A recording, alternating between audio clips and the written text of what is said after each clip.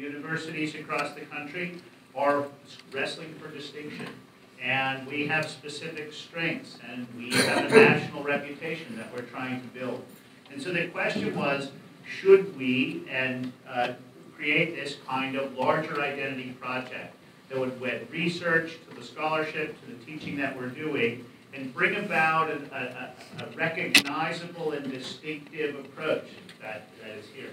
So we had a, a, number of meetings that we went around. We talked to the distinguished professors. We talked to the residential scholars. We talked to all the institute uh, directors and, and leaders and big center leaders across.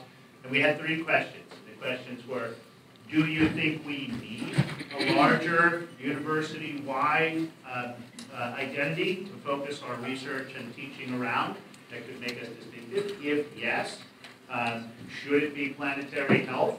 And if yes, um, where, what do you see as the shape of that? And this was a series of meetings that took place over almost a year. And actually, it was really uh, inspiring what we saw. People came together, they had a lot of feedback about what, uh, what we were trying to do. And uniformly across the board, people understood that this was actually a really significant moment in higher education. Was a really big opportunity for UVM to actually establish itself in a distinctive way.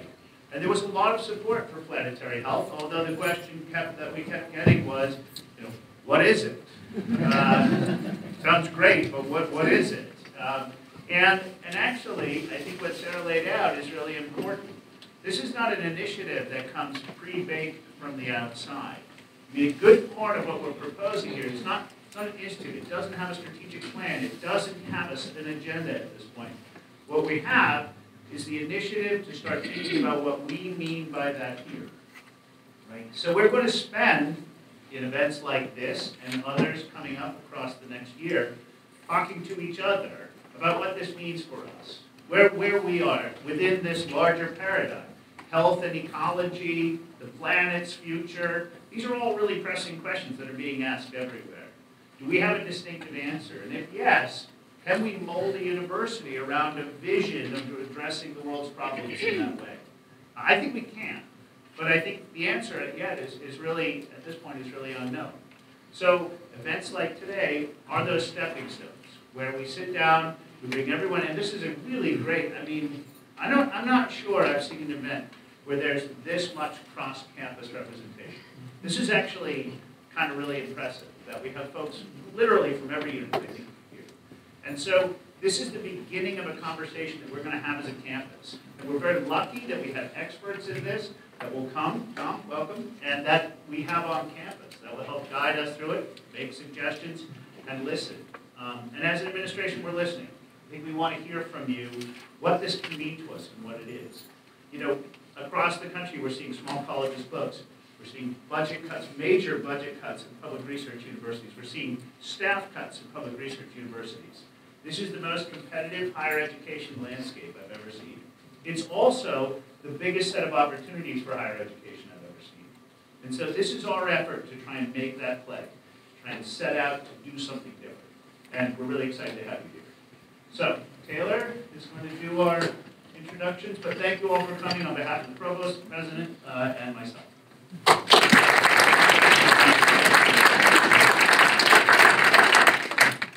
everybody. I was just thinking the same thing. Like, what an amazing cross section of campus and campus leaders this is. Uh, that in itself is really exciting.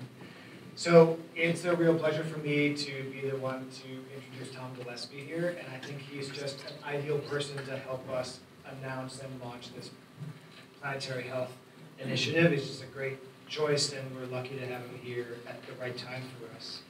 Um, Tom has been a leader in what we now call planetary health for a long time. He's an expert in figuring out the relationships between ecosystem change and disease dynamics, including especially zoonotic jumps of disease between species, wildlife, livestock, and us.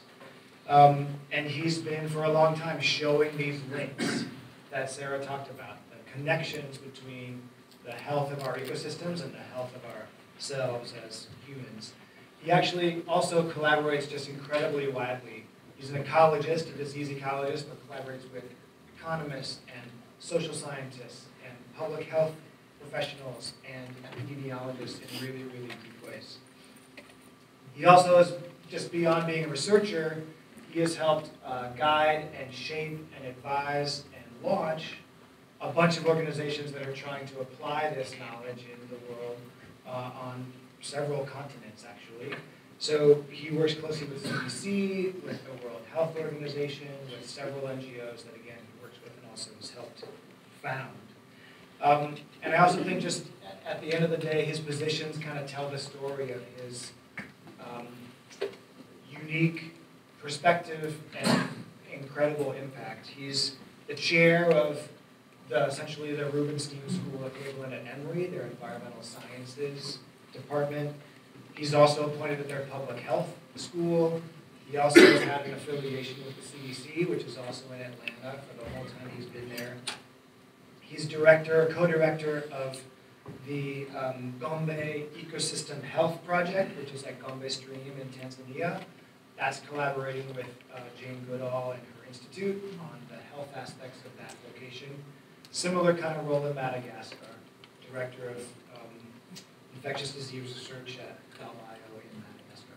So uh, working all over the world on science, on application, on uh, policy and action.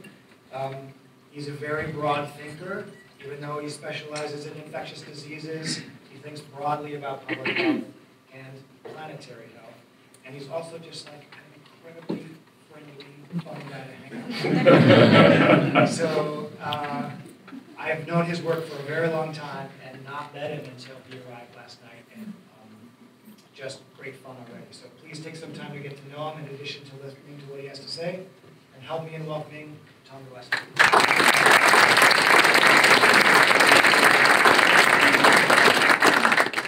Yeah, thank you, Taylor, and, and thanks to the leadership for the invitation to be here and to be part of this really exciting moment for the University of Vermont. Um, I'm, you know, going to talk to you about my little slice of planetary health, um, which Taylor did a good job uh, summarizing. We're really thinking about human disturbance and how that relates to the zoonotic interface. Um, we deal with issues where there can be disease emergence as an outcome, or chronic transmission of things that once were not thought to have a strong wildlife component, but now we're realizing do, uh, as well as cases where we're seeing the reverse, where we're seeing uh, animals that are endangered impacted by our diseases. Uh, so we look at both sides of that uh, in our work. But I want to start by talking just a little bit about the, the broader construct of planetary health. So far it's not.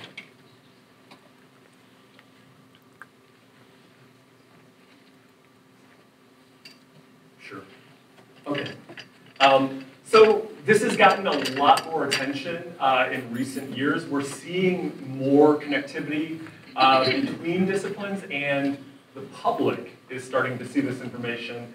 Uh, the Lancet Commission, uh, in association with the Rockefeller Foundation, has helped to really push uh, this concept of planetary health forward.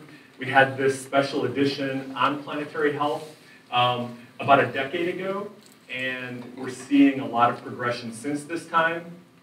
The general approach is that as our populations increase, now, you know, at 8 billion, um, our continued health and existence uh, as a species really depend on a healthy natural ecosystem and the interdependent web of life uh, that compromises these ecosystems. And it is. and so, in the sense of what planetary health is in this broad construct, uh, as a state, uh, planetary health is focused on the health of the human civilization, so thinking of all of us, uh, and the state of the natural systems on which that human civilization depends. That's what we think of when we think about the state of planetary health. I'm also going to talk about the, the definition of kind of how we approach planetary health from a research uh, construct. And so many of you are probably familiar with the term Anthropocene. Uh, it's a term that uh, you know is is embraced in some ways in terms of recognizing the, the level of impact that we've collectively had on our planet. Um, but whether or not it will be officially uh, a term is a point of current controversy. Many of you may have seen an article recently saying, no, no, no, we're not going to use this. We're, we're definitely in the Holocene. So um, whether or not we use the term, the construct is really important in that it's really recognizing this process of acceleration in terms of the way in which we are using resources in unsustainable ways. Um, and then the impact of those processes, uh, where we're seeing lots of nonlinear uh, effects that impact the viability of the planet and our capacity as a species to, uh, to persist in this environment. Or even in, you know, in the most conservative terms, in, uh, maintaining a quality of life for people, whether we exist or not, but uh, making sure that we, we can do this sustainably. And so many of you have probably also heard about the construct of planetary boundaries, really recognizing where we have exceeded this global capacity. And there are a number of areas where the, the idea is that we don't yet have enough data to really say whether or not we're crossing boundaries. So there are lots of places where we need to be collecting empirical data to improve our understanding of how well or poorly we're doing in responding to these challenges. But there are areas where we know we're having big challenges uh, related to the biogeochemical flows, um, largely related to unsustainable large-scale agricultural processes, um, and then where we're seeing the loss of biodiversity and the loss of ecosystem services that are associated with this, including uh, the diversity, the genetic diversity of those, those overall ecosystems. And so there are health-related co-benefits to many aspects of uh, the natural ecosystems that we depend on. And in many cases, we're taking these for granted. Um, in, in the language that I first learned about from work done by Gund scientists, um, you know, these are, you know, positive externalities that are, that are just not being put into the scorecard when economic decisions are being made. Um, but we feel them when they're lost. And then often the cost of trying to replicate that uh, using human technology is, is not a perfect fit uh, or is exceptionally expensive. And so these are just some of the examples of the types of environmental impacts that we create uh, through our activities and the, the related health effects that we can see downstream. And so you can see that many of the disciplines that Kirk mentioned, uh, earlier, and Sarah mentioned earlier in relation to where the strengths are in medicine uh, and health at the University of Vermont, are related to these broad areas, um, as well as the area where I'm working with this interface with, uh, with infectious disease in, in tropical systems. And so the Planetary Health Alliance is one of the ways that we organize planetary health uh, efforts. Um, and this is, I, I don't know if Vermont is a member yet, but um, yes, so you're already a member of this, this process. And there's an annual meeting uh, that you can, uh, you can be engaged in to be more a part of this process that relates to the science and the policy of this approach. And so when we look at the approach, so we talked about the state of planetary health. When we think about the, the approach, um, it's characterized by understanding the linkages between human-caused disruption of Earth's natural systems and resulting impacts on public health. That is kind of the grand scope of this. And so everyone in the room has the capacity to contribute to this in some way. And having, like, as you guys were saying, everyone from across the university here today I hope that you'll stay, maybe have some more food, and talk about some of those linkages that maybe you hadn't considered in the past, and create that synergy uh, that you have so much potential for here. My, my little piece of this is the human-caused disruptions as they relate to that zoonotic interface. And we look at this dynamic at a number of sites, as I mentioned before, primarily in the tropics. And we have long-term research sites in Tanzania and Madagascar that I'll speak more about today. But there are a lot of other places where we've worked. So if you see a marker there and there's, there's, if that resonates with you, things that you're doing, I'm, I'm happy to talk more about that work as well. Um, and so why the tropics? Um, we'll get into that. Uh, the, this understanding of the link between um, changing ecosystems and drivers of, uh, of land use change and the link to disease emergence has gained a lot of attention since the COVID pandemic. So these are just basically from some of the like 60 plus interviews that I did during the pandemic about this interface.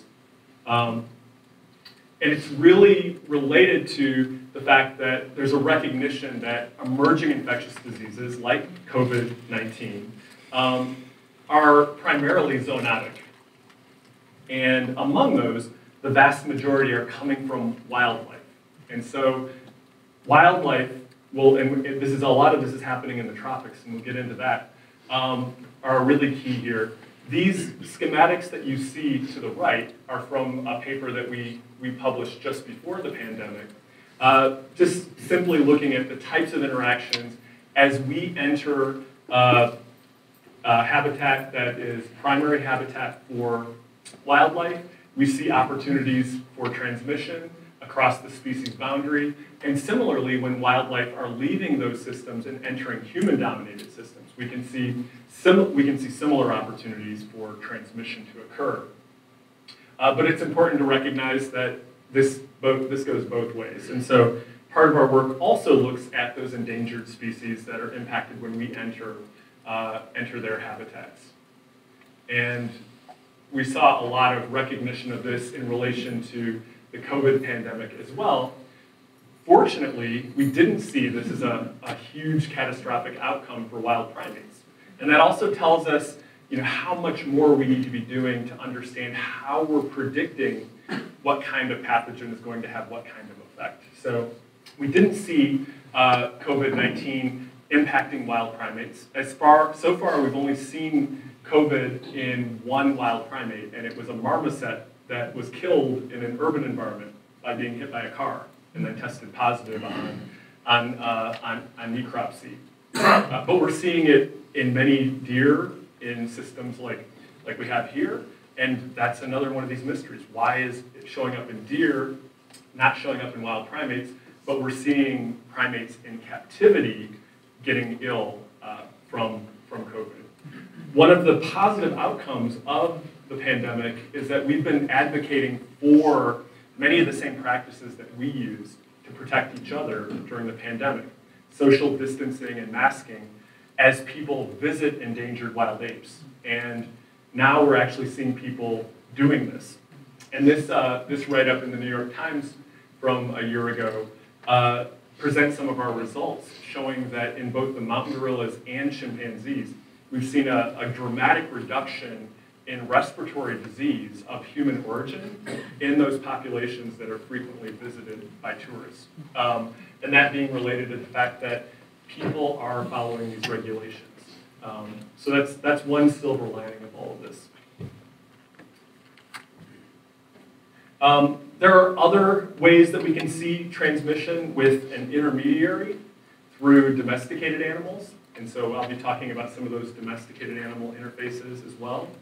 And there are cases where vectors can play a role in transmitting a pathogen either to people from wildlife or from people to wildlife. And then we have a lot of cases that are really complex where we can't really define a human-dominated versus a, a, pristine system, and we're dealing with kind of the complexities of the mosaic. Um, and there are a lot of different ways in which, multiple pathways by which the pathogen can be transmitted. and then, so so emerging infectious diseases are primarily zoonotic, primarily from wildlife, and the highest risk for future events is in the tropics. So I want to take just a moment to explain why the tropics are such an important place for that future action. Um, part of this is just where the diversity of life is found. Um, so as many of you know, our best projections uh, for the diversity of eukaryotic life are around 9 million, but very importantly, the, the vast majority of this is yet un, um, undiscovered. So 86% remains to be described in uh, terrestrial systems, and we have even less of an understanding of the marine systems. For all of that eukaryotic life, so remember eukaryotic life does not include bacteria, does not include viruses, you have all of this, you know, all these bacterial species and viral species that have niches that relate to uh, that overall biodiversity. So we have the vast majority of unknown pathogens occurring in those tropical systems in association with those unknown um, larger forms of life, eukaryotic forms of life. So that's one part of this uh, dynamic. The other is that the tropics have an, uh, they have a, a, much higher burden of, in, of environmentally mediated infectious disease compared to other systems. Uh, and that's disproportionately found in the rural tropics, both for biogeographical reasons, uh, for climatic reasons, and also for economic dynamics on the global front, uh, histories of colonialism and other factors that lead to poverty as a, as a factor in these systems. And so this is the other reason that we look at these systems not only in terms of disease emergence, but chronically transmitted diseases that may have an underappreciated zoonotic component. Um, and so in my research group, we used mixed methods approaches to really understand where these emergence events or transmission events are occurring and what behaviors are associated with them. Behaviors of people, behaviors of wildlife. Um, and to do this, we, we use classical epidemiological and socioecological survey techniques, a number of observational data collection techniques, um, spatial analyses, and various infectious disease diagnostics. Um, in all of our work, it's very important to us to learn from and support the local and indigenous cultures that we're working with. Uh, so many in our fields may you know, see there's a new call for grants in this area, and you jump on it and you know, learn as much as you can, and then jump into the system. We've sometimes foregone those opportunities because we want to make sure that it's actually something that our partners want to work on, um, that we've been invited to be part of this process, and that the, the information is not just going one way, both in terms of taking data but also making sure we're giving back solutions. And so that, that's really been very important to us in, in our approach. So how do we do this kind of work? I had a conversation earlier today about the fact that when we're looking for disease emergence, it sometimes feels like finding a needle in a haystack. How are you going to identify that pathogen? Um, you know, what kind of sample size are you going to need to actually pin this down? Um, and often it's frustrating because you do a lot of surveillance, and you don't find what you're looking for. Um, so one of the ways that we've gotten around this is to think about, well, what are the general ways that pathogens are transmitted? You know, there, there are just, you know, a couple of handfuls of different mechanisms by which this vast diversity of known and those unknown pathogens are going to get into us. Um, and so we've used some model systems to understand that. One of these is commensal E. coli. And so how many of you have a, uh, how many of you harbor E. coli right now? so a few of you don't have your hands up, but the answer is yes. If you don't, we're in trouble.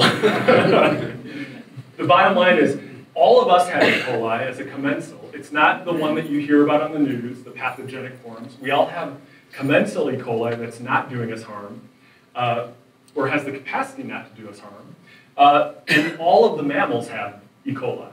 And so we look at this bacterium that we all have, and that all of these animals that are overlapping with us have, and we look at how similar the isolates are from that E. coli across individuals within a population, so within one species, and then in the overall community, all of the different species that are overlapping. So the people, the wildlife, the domesticated animals. And by doing this, we can see how similar those isolates are in relation to the type of overlap that's occurring to understand what might be leading to transmission using one of these pathways, like waterborne transmission or fecal contamination. Um, E. coli is a good model for these forms of transmission, for example. Uh, and we've used this to look at things like tourism uh, with the mountain gorillas and with the chimpanzees, as well as uh, local uh, subsistence uh, activities in relation to these species uh, to see what types of transmission we might see in those systems. Um, and here's an example of this. Um, this is looking at the genetic similarity of those E. coli isolates, comparing the wildlife, in this case the gorillas, the, the people, and their livestock. And what you're seeing on the axis here is the FST score, which is a, a measure of genetic distance. Uh, and so the lower that bar, the more similar that uh, isolate is to uh, the group of comparison. So if we look at the E. coli of the gorilla guides, the research field assistants, the humans from the villages, and the domesticated animals, relative to these three different types of gorilla groups, um, we can see significant differences in the similarity of um, the isolates. Uh, so basically what you're seeing is that these different gorilla groups have bacteria that uh, is either very similar to all of these different groups, outgroups, or uh, that are um, intermediate or, or uh, that are very similar. So ecotourism gorillas are gorillas that are frequently visited by tourists. Every day, people are coming into their, their system uh, and overlapping with them. They also, by chance, happen to be the gorillas that spend half their time outside of the national park, sitting in the crop fields. So, like anytime you're looking at a natural system, there are challenges with getting the perfect setup, right? So we have to make do with reality. Uh, so these are the gorillas that get hammered with all the overlap. They're overlapping with the livestock when they're out in the, in the fields. They're overlapping with the local community. Um, they're overlapping with the tourists because the tourists are coming in. And as you might expect, because they have all of this overlap, they have the, they have the E. coli isolates that are most similar to those of all of these, all of these other groups of, that they're overlapping with. Intermediately, you have the research gorilla groups. These gorillas stay within the national park. They're visited by researchers, uh, sometimes on a daily basis, but those researchers are taking greater precautions. They're wearing masks, uh, they're wearing clothing that they, they clean and they wear a different uh, outfit into the natural system than they're wearing for other activities. Uh, and if they're defecating or urinating, they're taking precautions to reduce the risk of transmission.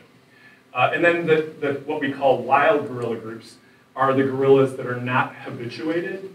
They're not being followed by people, and their only overlap with people is every five years we do a, a population-wide census to figure out if the gorilla population is increasing uh, or decreasing and what the challenges might be. And as you can see, they have the, the most distinct E. coli profiles relative to these other groups. Uh, and we see this same kind of pattern in the various systems that we've looked at where the, the overlap is the, the key factor for these types of pathogens. One of the other great things about using E. coli as a model uh, system for looking at transmission dynamics is that many of you from the medical side may know that a lot of the antimicrobial resistance that has developed develops in the commensal E. coli. So we're, we're taking the antibiotic maybe for, for the treatment of a specific pathogen, or there could be misuse of the antibiotic. Uh, but in all cases, that, that E. coli is experiencing that treatment. And so we see that resistance developing in the E. coli. And so we can look at that as not only a measure of resistance, selection for resistance, but also for transmission of resistant bacteria. Because we're not giving antibiotics to the wildlife in the systems that we're looking at. And so when we see resistance in their populations, it's also giving us a sense of the directionality of transmission.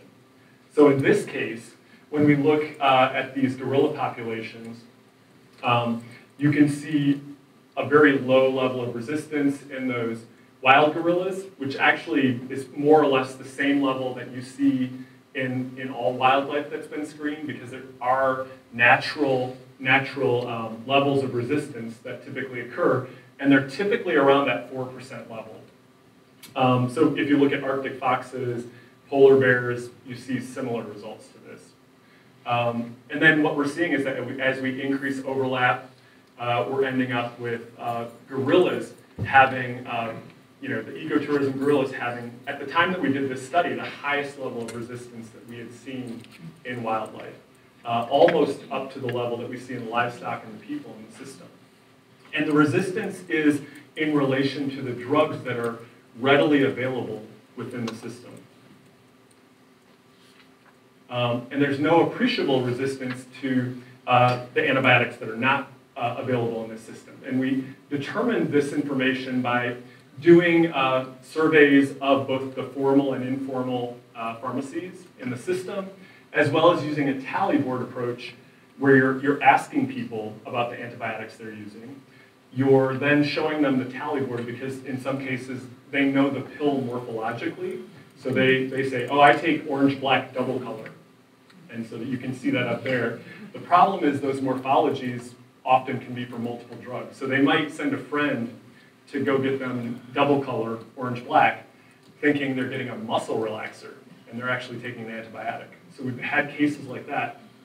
The other factor is that we, we have them save the wrappers, because we're doing monthly surveys, um, and then we can see not only whether you know, the medication is what they thought it was, but when was it manufactured, where was it manufactured, was it expired, did they use the full term, we can really start trying to get into the mechanistics of why we're seeing resistance in that system. Okay, so model systems are one of the ways that we do this. Then once we have a sense of what might be going on in the system, we, we've established long-term platform sites to be able to look at these dynamics, not just with the models, but with, uh, with actual pathogens. And so one of these sites where we've done this work is Gombe with uh, the Jane Goodall Institute.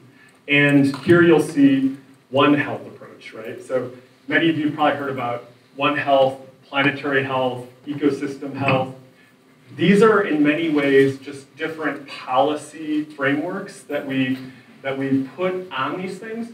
One Health can be seen by some as a subcomponent of planetary health.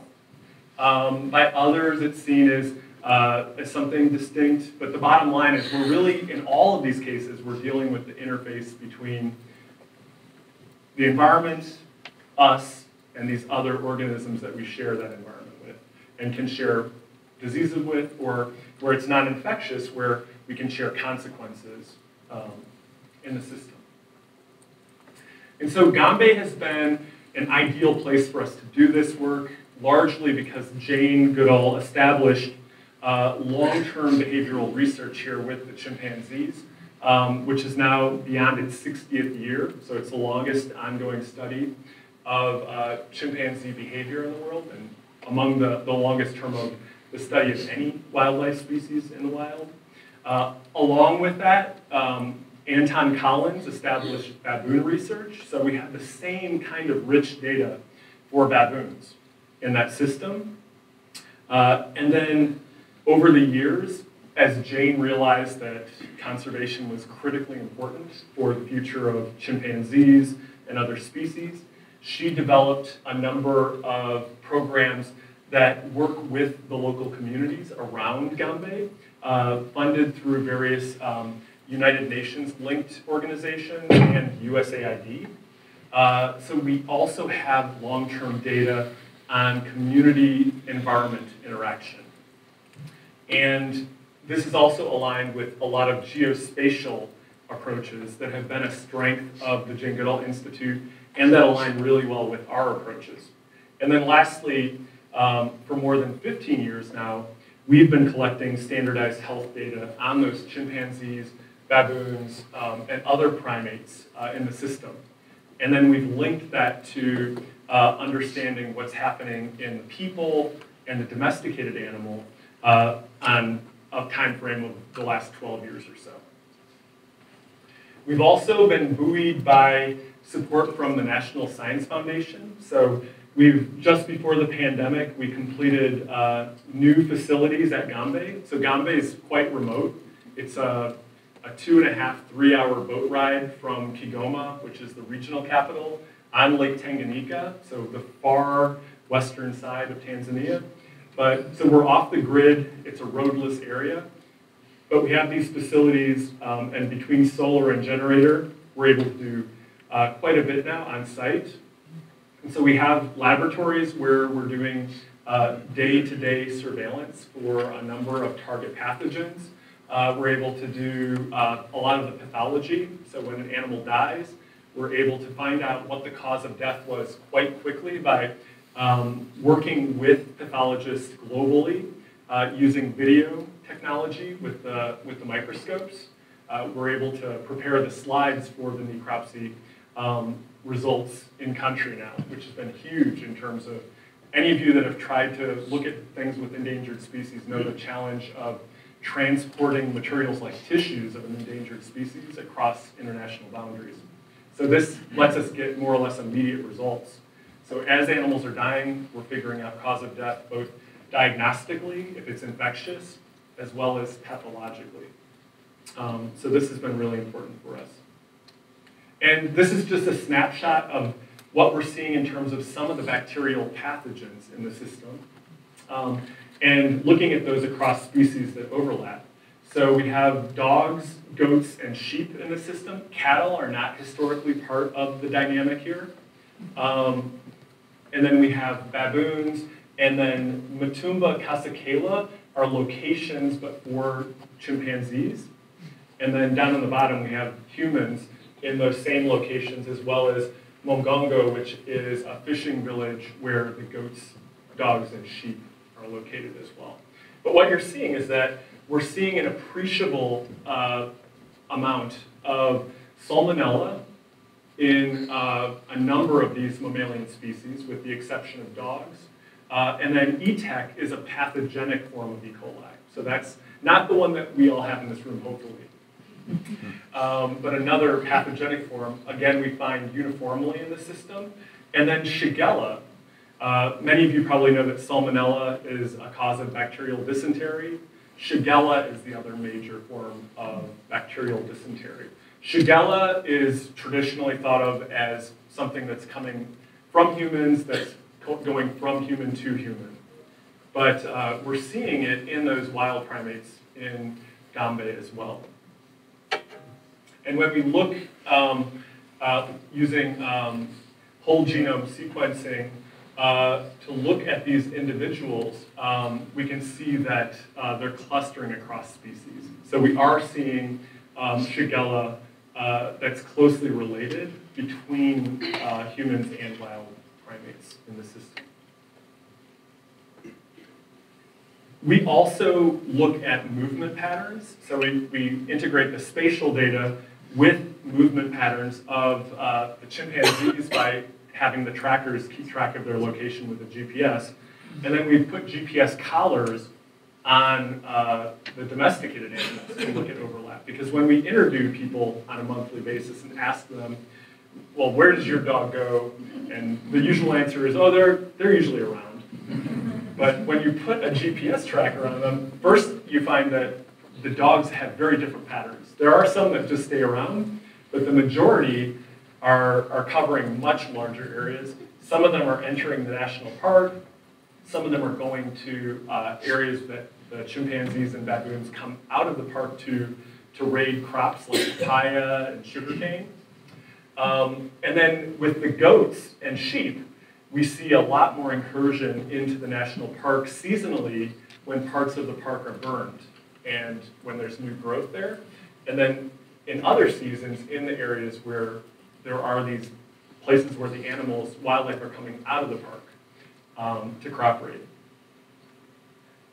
So we've done the similar work that we've done in that system in Uganda that I talked to you earlier about, looking at antimicrobial resistance.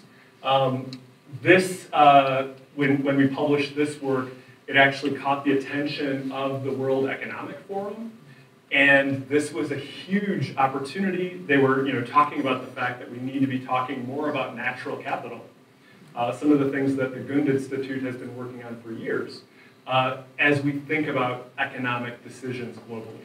And one of the outcomes of this is that I was uh, brought to the, to the forum in Davos to speak along with the chair of finance for the University of Zurich about some of these things that happen in this interface and why we need to be considering biodiversity ecosystem services as large-scale global decisions are being made. In the, in the system at Gombe, Gombe itself is just this little park up here on Lake Tanganyika. You can see all of the activity, the human activity around that national park.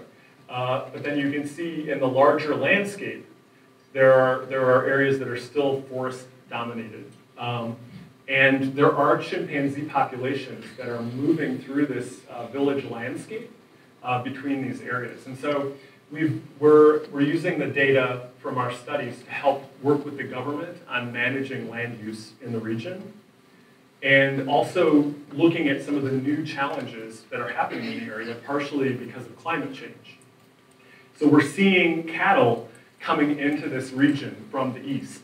So as climate change has dried those areas, made them less viable for pastoralists, they're shifting into this region, which has traditionally been more linked to fisheries. And uh, we're seeing conflict between the cultures. There's, uh, there's cultural conflict, but we're also seeing these novel interactions between wildlife. These are camera trap images taken in, in five minute succession uh, in the same place. So you're seeing the level of spatial overlap between these chimpanzees, um, dogs, and people, which they've long had overlap with, but now with appreciable numbers of cattle as well. So we're starting to look at that, that process as well.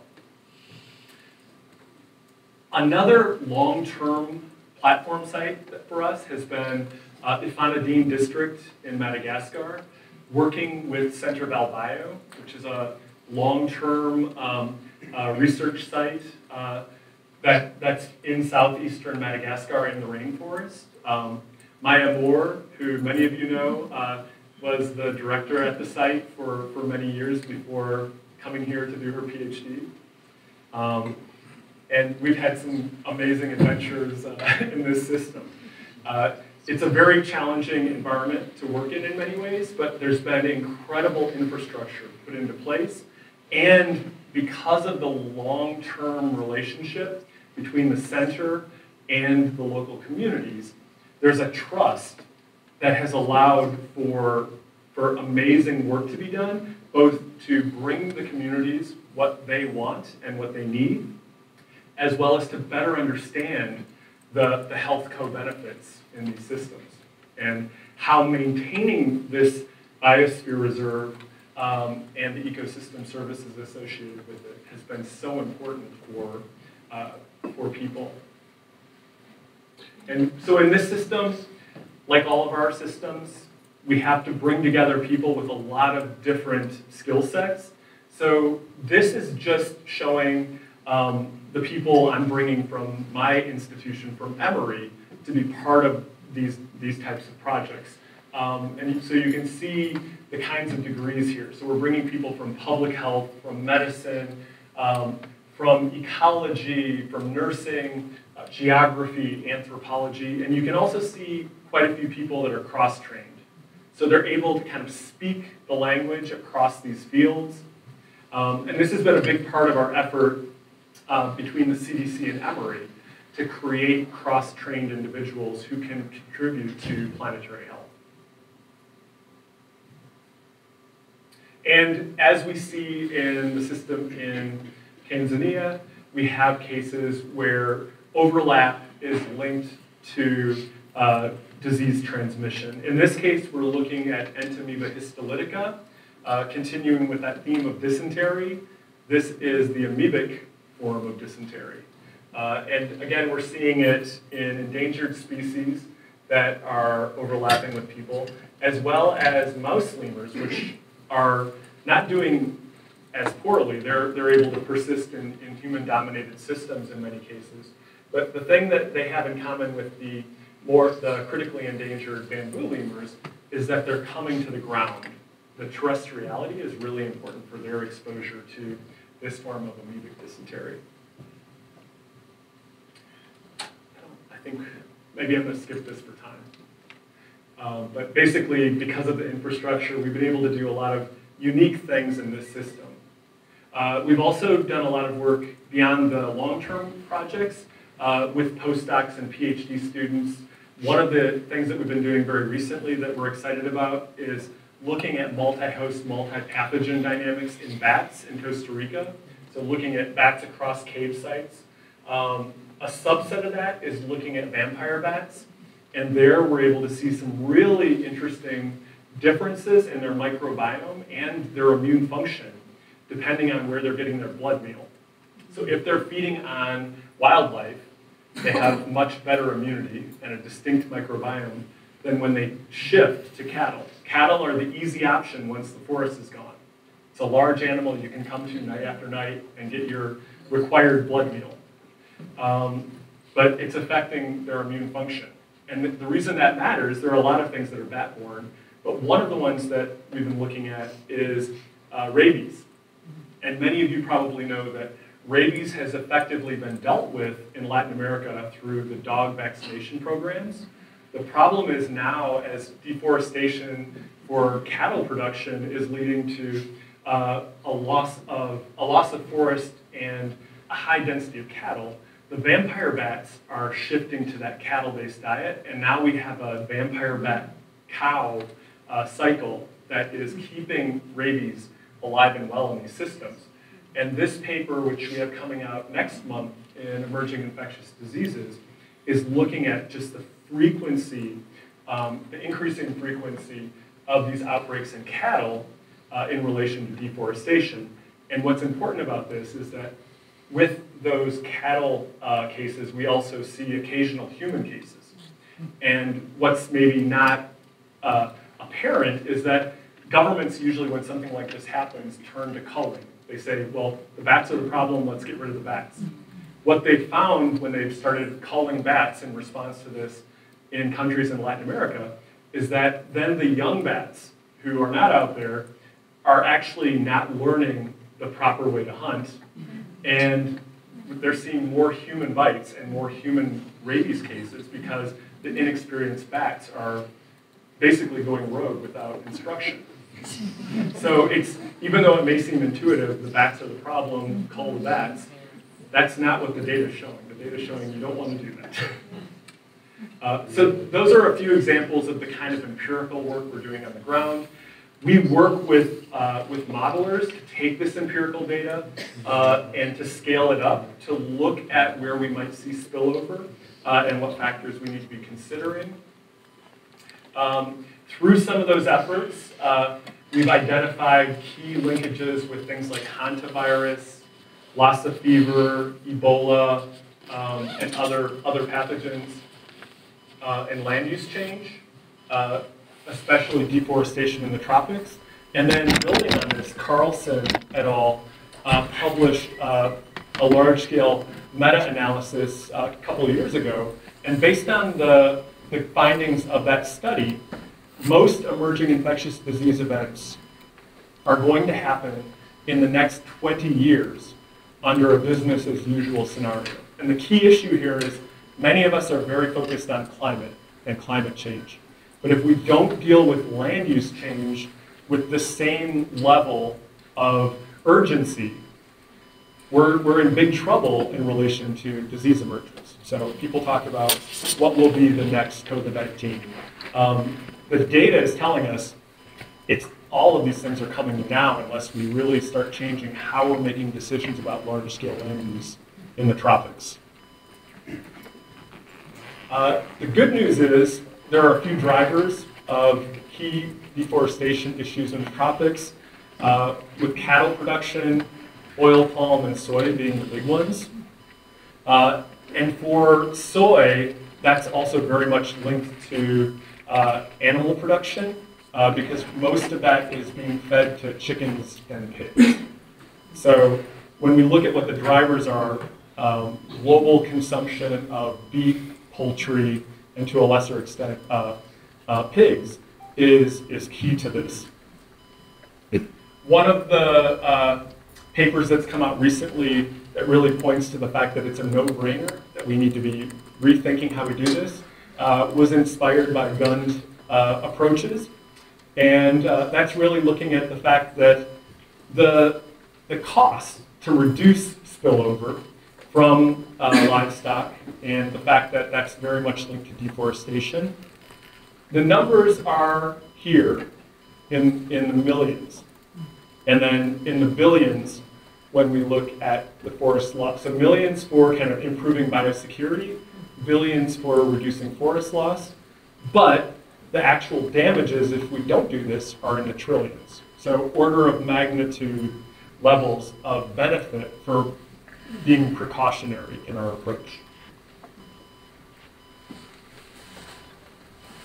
So now I'm going to kind of, for the final moments, uh, just talk about how we transfer this to policy. Um, so I'm part of, I'm an external expert to the high-level political forum on sustainable development. Uh, this is the body within the UN that actually pushes the sustainable development goals to implement them and uh, to work toward their success. And my, my charge is really building synergy for solutions to simultaneously prevent pandemics, mitigate climate change, and preserve biodiversity. So I get called into a lot of fora to discuss these things. I contribute to a lot of different uh, reports and workshops for different international bodies. Um, and it's really important to get these bodies to work together. So, you know, we've done this with uh, IPBES to have a special um, uh, a special workshop on biodiversity and pandemics, and then um, this report, uh, which UNEP did in collaboration uh, with ILRI. Um, so, you know, getting people from the, the animal production side of things uh, to also be talking to people within the preservation of natural systems side of things on these issues. We've also had a number of diplomatic uh, fora. So we did a lot of these online during the pandemic, but this was an opportunity where members of the diplomatic community would come together. I would give a brief uh, overview of some of the issues, and then there'd be lots of time for questions and thinking about how this could benefit uh, what they're doing in their country or collaborations between countries. And then another thing that we were able to do through uh, another branch of the United Nations, through UNESCO, is create a, um, a film called Making Pandemics, really looking at the linkages between biodiversity loss and pandemics, bio, biodiversity loss and disease emergence. Uh, we filmed this in six countries, including Madagascar, and uh, we brought Juliette Binoche with us, a famous French actress, who uh, is a, a UN Goodwill Ambassador and she provided an amazing bridge. I'm Dr. Ernesto Mendez, uh, professor of agroecology and environmental studies, and he's the faculty director of the Institute for Agroecology. And now we're going to be followed by Dr. Kate Tracy, professor of medicine and the senior associate dean for research in the Larner College of Medicine, and the director of research for the UVM Health Network. So, uh, Ernesto, I'll bring you up first.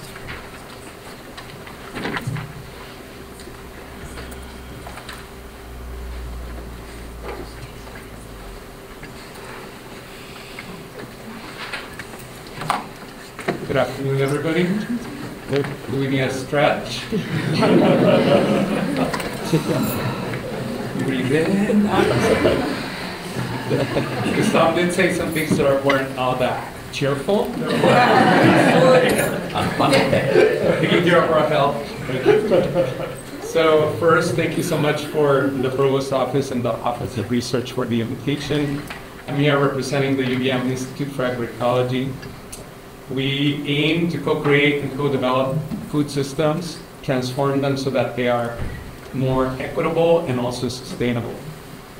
And do this through cross-disciplinary and participatory action research, co-learning, outreach, and community engagement. So these are aspirations that we have, right? It's not easy to do, but they do strongly align with the planetary health framework. And more generally, I think that we share a focus to understand all those interrelationships and complementarities that lead us to healthy people, healthy agricultural systems, healthy food systems, in a healthy planet. More specifically, I want to talk today about two programs that I think strongly align with the Planetary Health Initiative. And the first one that I will mention is a new and growing program on contemplative practices for transformative agroecology. This effort is seeking to support and strengthen inner capacities of all the people that are working in the food system. And here it is important to mention from the farm, from the farm worker to the consumer, to the people, everybody. Talking about everybody, trying to be very inclusive. Um, and to bring these contemplative practices that are grounded in self-reflection, interconnectedness, and compassion.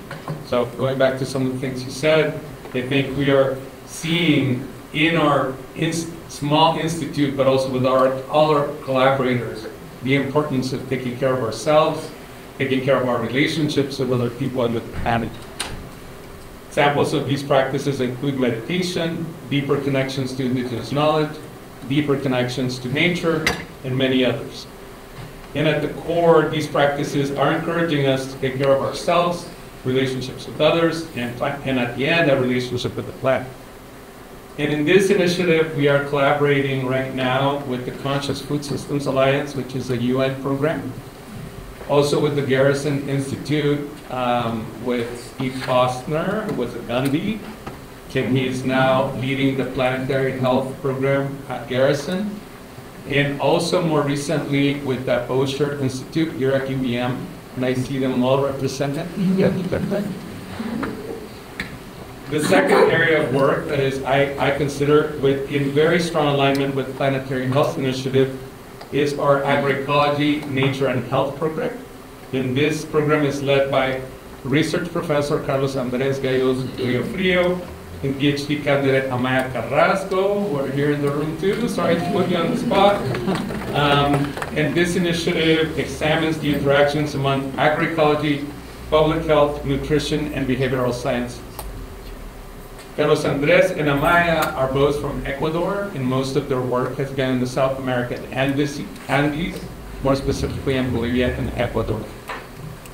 And I believe that they are directly incorporating both One Health and planetary health concepts in their work.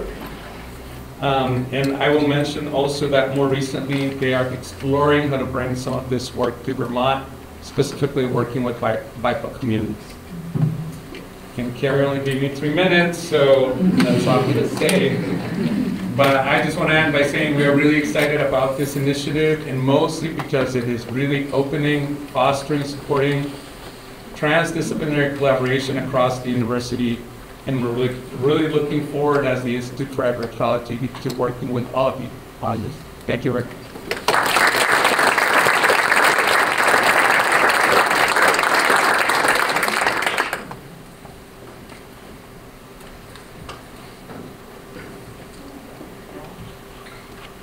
How can you go from that to an on that? Sure. So, so thank you for the opportunity to, to be here this afternoon very briefly. Um, I'd like to give a shout out to those graduate students who did the three minute thesis earlier this week. They terrified me to carry such from one slide. so, I, shout out to our students who feel great that.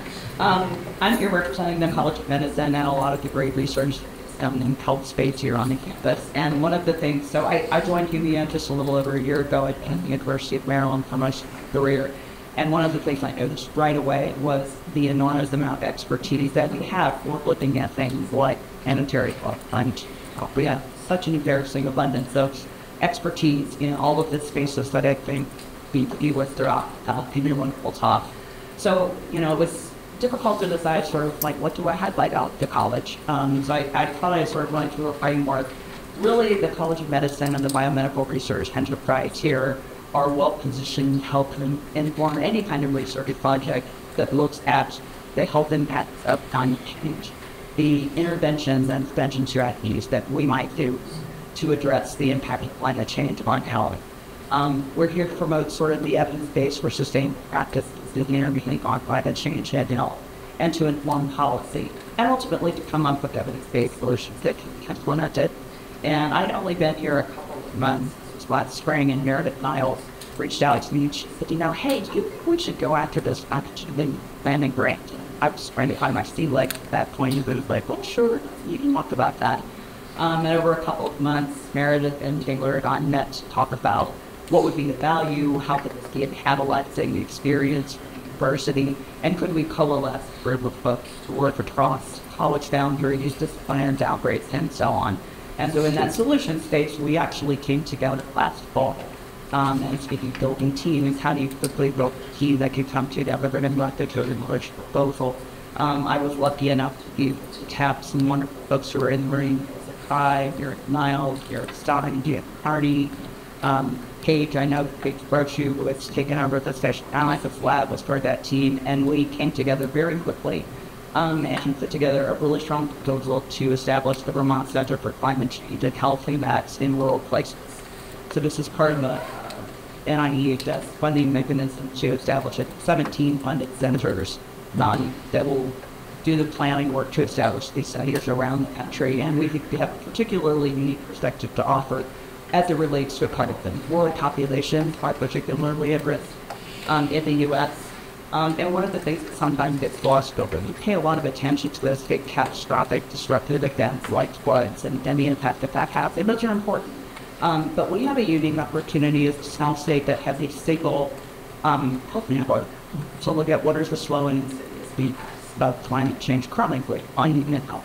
Um, and just um, earlier this week, and actually for the first time I got to meet uh, Dr. Rick Moran, and he and a group of people are also coming together to focus on added children. So we are also studying the, the Vermont Children's Health Insurance Program. Um, Rick, did you say it was 25 or years worth of health data on it? Probably 30 now. 30 now um, in the Titanic City. Um, and I'm going to be able to ask some really unique questions about um, as the climate has changed over the last 25 to 30 years, how is that showing up in the, in the health for the community often? So, you know, as someone who's spent us for academic life and adult life in Central Maryland, with four major academic health centers, all highly overlapping, I think it is amazing be Vermont to have this wonderful national laboratory within our state and this wonderful flagship university to lead forward this effort to look at the impacts on planetary health and specifically in climate change space. So then if the opportunity shows without that, I don't mean to shortchange anybody. It's never important research that's getting done. But this is where we wanted to plant the flag. Um, yeah, I'm excited.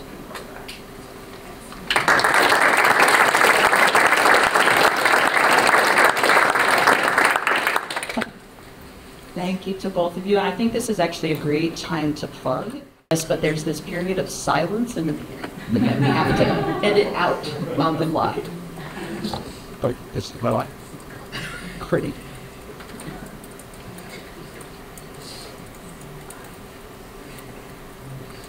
Just going to word out for it. Period of. Thank you.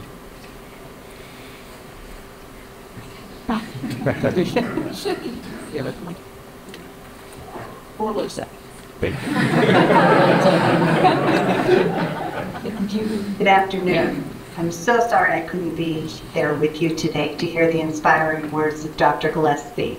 And thank you to Kirk and Sarah for taking the lead in my absence. we started the UVM Planetary Health Conversation about 18 months ago in October of 2022, and it has inspired both collaboration and action since that time.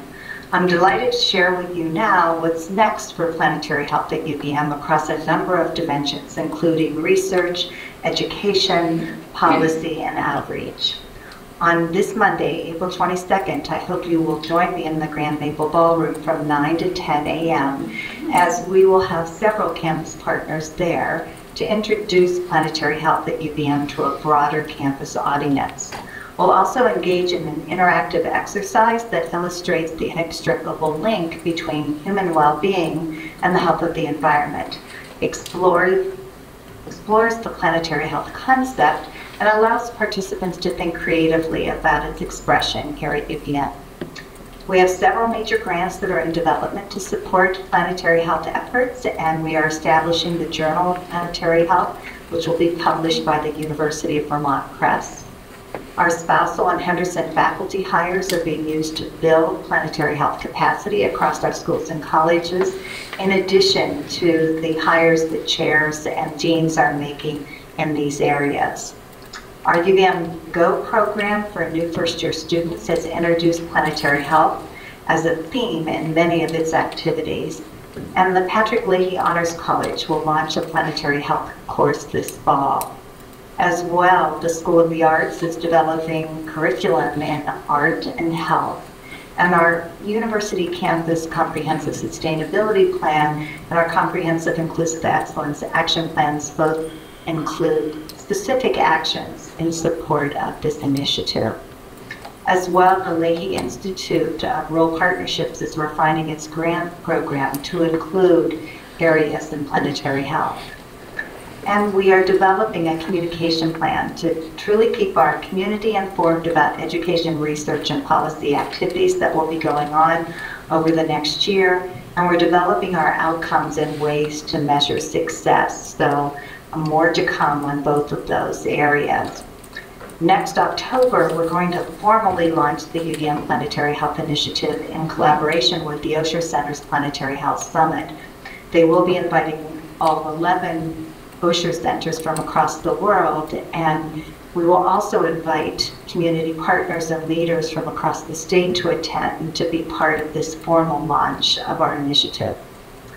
Finally, I'm really pleased to be able to announce that in addition to the millions of dollars we have already invested in planetary, planetary health, and in addition to the funding that we will be redefining and reallocating to support our planetary health effort, my office will be investing approximately 225,000 per year for the next five years to provide support for at least two postdocs per year and a seed funding for proof of concept and other initial applications for cross-college grant activity. This funding will be awarded through a competitive process and we'll share more information on this um, soon, so be on the lookout.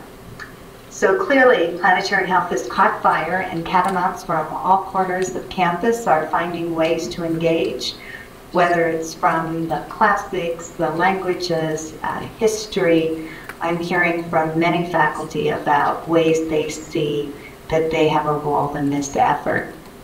Focusing our effort and expertise on planetary health provides the University of Vermont with a tremendous opportunity to do several things.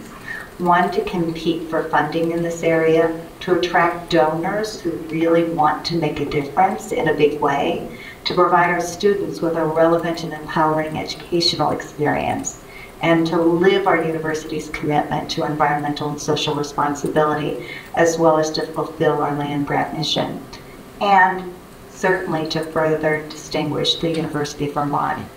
I want to thank you all so much for being there. I'm so sorry I could not be there with you. I'm here at the University of Wisconsin. I will be back on Monday and hope to see you there. And I look forward to working with you to advance our commitment to both people and planet across the state, the region, and the world. Thank you.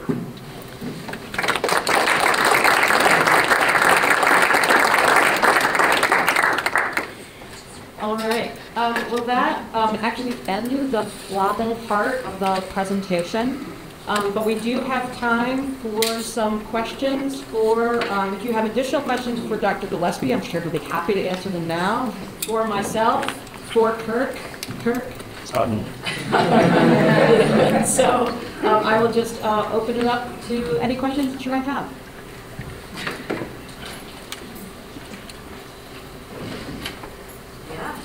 This is a sort of a question and comment for everyone, but I was inspired, Dr. Gillespie, by a comment you made in your talk about creating cross-trained individuals in planetary health and that really excited me. So I'm Bernice Garnett. I sit in the College of Education and Social Services here at UVM, but I also have a, a secondary appointment in the College of Nursing and Health Sciences, background in public health. And what sh- struck me is the picture of all the different disciplines that you were marked on And I'm wondering, in your own institutional experience at Emory, and this is also for other folks in the room, what do you think are key institutional levers to support interdisciplinary engagement in planetary health, particularly for the disciplines that we might not immediately connect to this idea? Education and social work and counseling and human development, which are the disciplines in my college really been not part of this conversation yet, and I'm excited to think through with Institute of Agroecology folks and other folks here ways that UVM can embrace this in a holistic, interdisciplinary way. And so I'm wondering, what have what's worked for you? What do you think UVM has to be really thoughtful and intentional about as we go forward? So one, one thing that's been really effective for us has been that we have PhD programs that span the university. Yeah.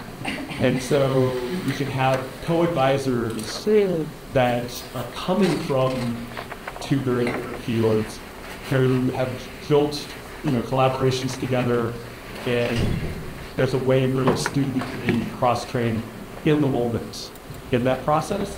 Um, the other is through things like our MD PhD program.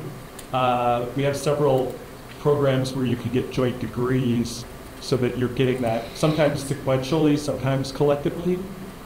But because we have various initiatives uh, for C grants to really promote team building, uh, that, that helps a lot. So the, the former director of the CDC was recruited at Emory to be the vice president for health.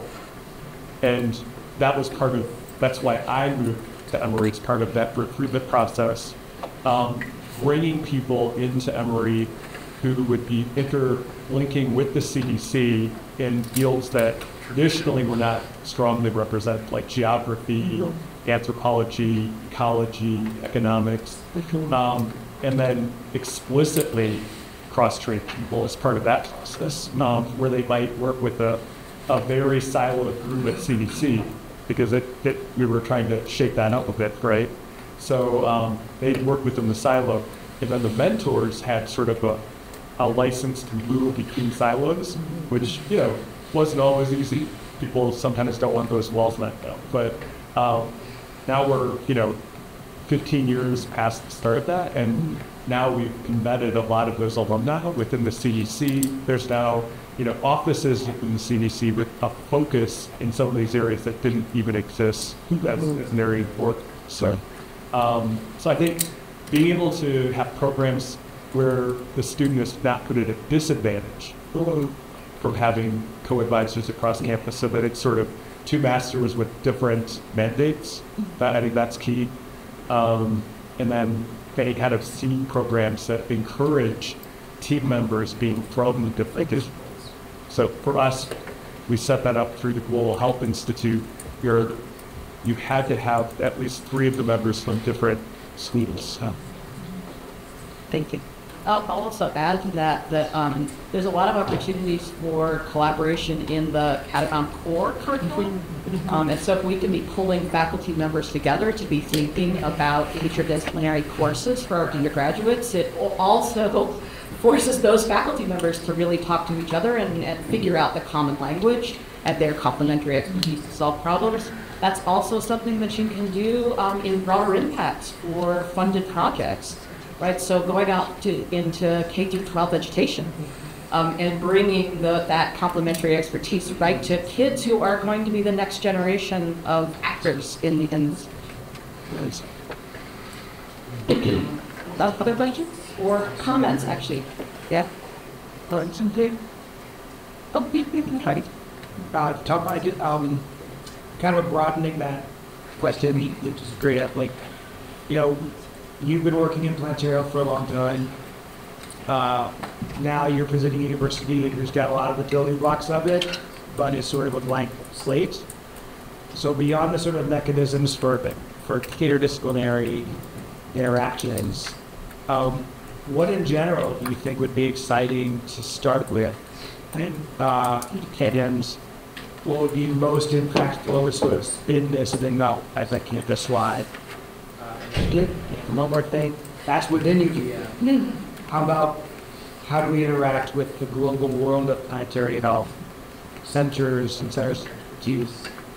what's the smart way to think about joining that global?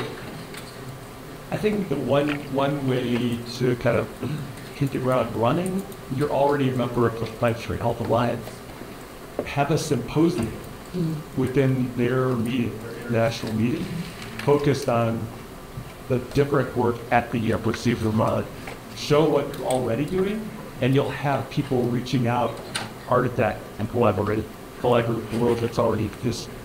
So, I mean, just from the interactions I've had so far, and that's really perfect. And in kind of seeing at the Gund Institute of various like established work that's happening where you just need to have somebody come across the aisle in med school, jump in, and uh, in some cases they already have. In the cases where they haven't, need those. It sounds like this initiative is it helps you make that happen. It's good. It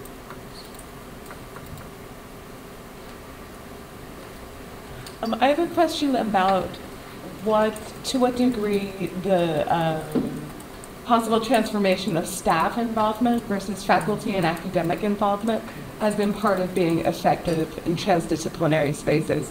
That looks to be a structural challenge. I- And not for you, in, Okay. in, some places. Not for any of you or us, but in some places I've heard. so we respect.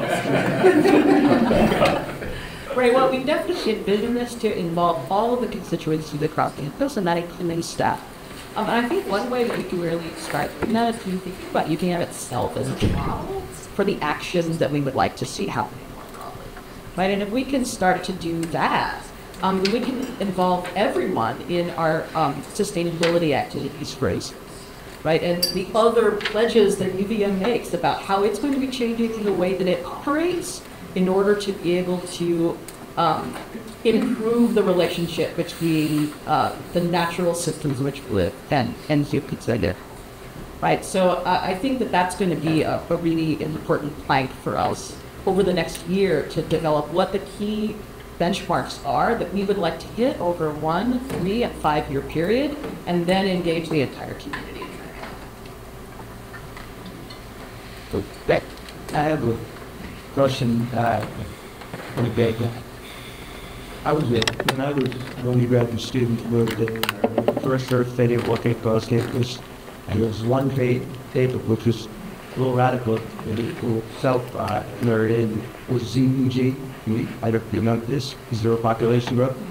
Uh, and that was uh, avoiding the population, whereas less than half of what it is, even human population, less than that, that people that get now. Um, I, I noticed that just like this year, the, the population has fact, Even, uh, but the question is really, what's carrying the past in Europe? The, of course, I think, you of have them all, but coming at, uh, and, and how do we, um, sort of and how do we, uh, assuming that you do actually people acquire, uh, how do you deal with the, um, the filtering misconception of traditional economics? And Like the more people that work, every time you, you more wealthy that you've gotten, the more people the better. And uh, yet clearly there's a limit. What's your your view of African test and I goals that how do you think change respond that what more people is more is more? Well, that, that's definitely a Nobel Prize question. so I'm not quite there. But, there but I think uh, you hit the key point, which is what is the sort of standard of living? What do we consider adequate for a need? And decoupling it from economic growth. So France has already made statements about degrowth, and it's an extremely unpopular thing to talk about but it's a necessity we're going to bring things into it balance.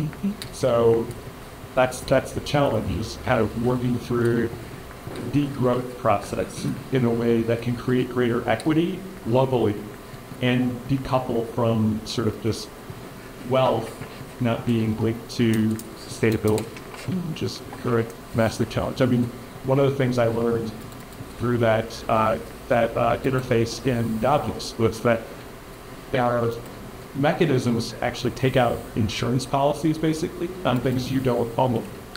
So you can basically bet against it. And Tell the story. and, yeah, you're basically selling short on the environment, and then you have the power to go in and disrupt and then claim. So there are things like that that currently exist that really need to not exist. Framework for survivors. There, The- How important do you think the levels of socioeconomic inequality and sociocultural income are? And how do you think that we can leverage those when the people with more money and more power and more, you know, ethnic um, class are running the system? I think we, we were talking about this last night. Um, yeah, we're talking about how things have to happen, you know, small first, and then we can see it scale. And you jokes, except in China where they just decide to do something that happens. Yeah. Uh, but then you come into the issue of and, um, and so on. But I mean, I think your position to see that possibility that being in Vermont, like Vermont is showing that these things can happen and that you can shift the way decisions are made so that you can have common thing with people and nature to a much greater extent than like what I see in Georgia, for example. Um, and so seeing that model, seeing the model of countries like New Zealand, uh, some of the countries in the European Union, there's, there's hope to be able to see that process run because people see that it's, it's actually viable and quality of lives are maintained in terms of what really matters um, as we have declining. I'm really sorry to bring up this follow-up question, but what if Trump gets elected and oh, second, or so he's carrying loose and down? I, I mean, some of this goes way beyond Trump or not Trump, with like federal issues, like the, the big elephant in the room is the U.S. military. Like, if you think about climate and sustainability, so that's something we're not really allowed to talk about. But it doesn't seem to change too much the dark security insurance. Okay. Yeah, it, could be even more extreme. I will also point out um, that um, on our website are the 12 principles of planetary health that you know, that was developed. It was a an adaptation of a more uh, a longer version of those principles. It was Louis de Rossa and someone else, I can't remember who it was, who worked on that. Um, but um, a big piece of that is um, social justice and equity um, and a very conscious um, inclusion of the potential for bias and other negative consequences will listener to behavior thoughts. So the hope is that people will be incorporating those 12 principles into the work that they're doing and be really expound. Oh, yeah, we are at 158. Excellent job. Uh, Thank you all so much for coming, and I look forward to working with all of you over the next year as we really uh, turn this initiative into action. Thanks so much.